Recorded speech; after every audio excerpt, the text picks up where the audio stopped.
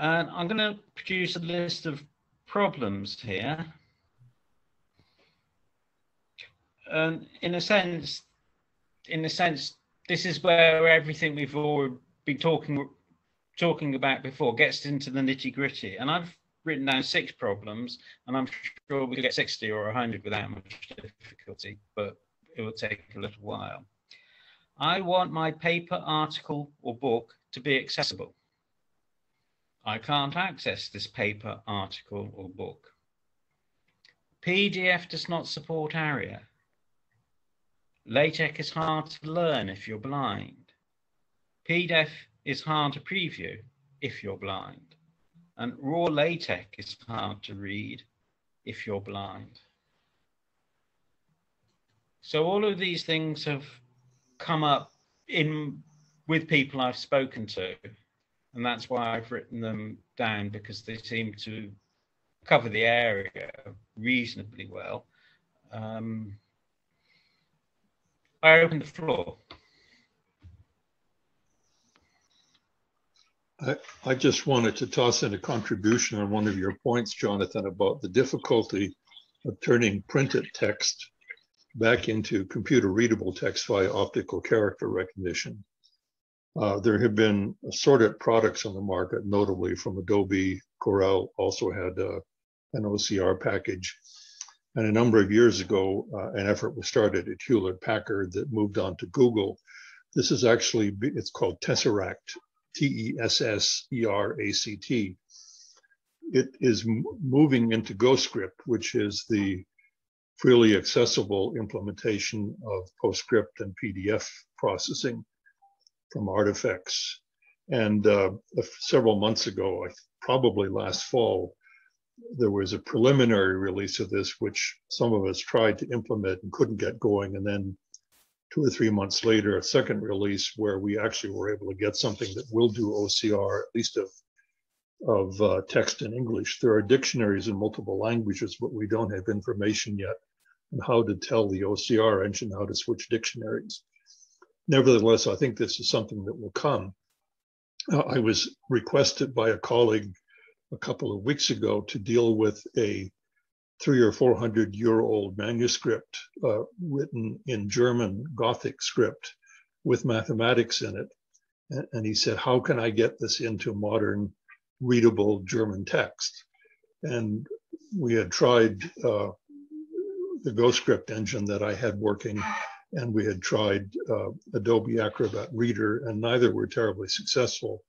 Then he switched to ABBYY Fine Reader, and it actually did quite a decent job of the Gothic script with probably about a 90 or 95% correct recognition of words. Uh, so I think that's that's progress. So there is work going on uh, that will make the OCR process uh, easier for people, more accessible, and more accurate. But it's still a, fairly difficult problem when you consider that the market has more than 20,000 fonts. Um, and uh, book publishers probably use several hundred. So trying to get successful OCR or published materials isn't always an easy problem. Yeah, just to back up what you say, Nelson, uh, one of my colleagues produced uh, something based around Fine Reader for reading um, the the records of the million or so specimens of Lepidoptera in the Natural History Museum in the UK, they were all handwritten. And we were able, or he, he was able to make Fine Reader read most of the te handwritten text. It was actually very surprising that we could persuade it to do that, and very impressive that it got so much of it right. Uh, of course, context played a part in that as well, because you're talking about butterflies and, and moths and how they appear.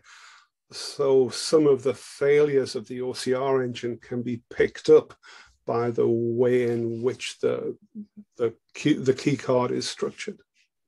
Mm-hmm. But it's interesting that those things are progressing um, well.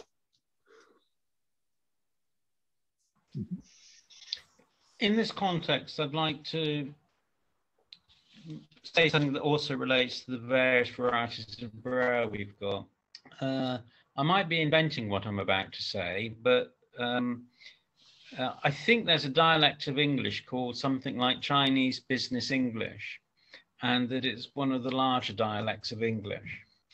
Um, and certainly Pidgin English is quite a large dialect. Now, in aerospace, particularly relating to air traffic controllers and pilots and so forth, English is the standard common language. And I believe there's something like standard aerospace English, which is the controlled vocabulary. And the word that we write in English, C L O S E, can be pronounced two ways. You can Actually, close, three ways if you take my accent into account. you, you can close the cabin door or you can be close to the mountain. Now, in each case, you need to know which meaning is being used. And if your standard vocabulary doesn't use words ambiguously, it can be easier. So oil can mean a lubricant or it can mean to apply lubricant. And um, I think in terms of people who have to use English, and that includes technical documentation, if there's a standard vocabulary available which works and is used, that's much better for two purposes. The one is for reading for people who don't have English as a first language, and secondly, for machine translation into English, into, a, into other languages.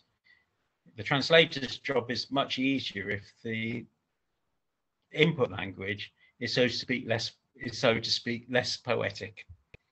Translating poetry is really hard.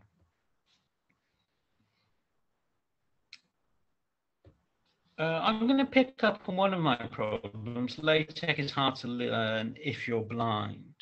And depending on your habits, you can have different responses to that problem. You might be, oh, we need to improve the documentation. Or we need to adapt the screen reader. Or there's the denial, no, it's not difficult to learn. And there's another approach, which is to avoid it, which is to use Markdown.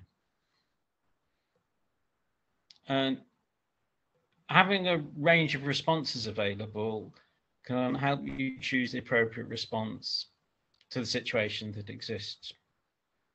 I think everything is the best at something. You just have to optimize for the right thing and the solution you prefer pops out. Um, for PDF being hard to preview if you're blind, well, don't preview it in PDF. I've heard that twice now independently from blind people. Preview it in HTML.